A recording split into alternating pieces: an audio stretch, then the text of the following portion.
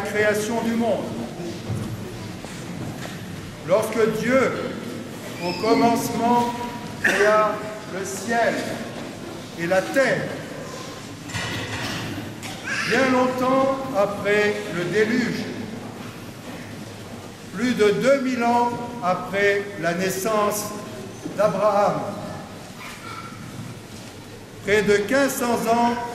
après Moïse et la sortie d'Égypte du peuple d'Israël, environ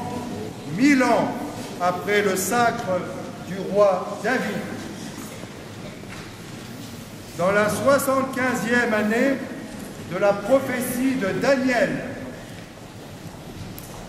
en la 124e Olympiade et 752e année de la fondation de Rome. L'an 42 de l'empereur Octave Auguste, dans le sixième âge du monde terrestre, tout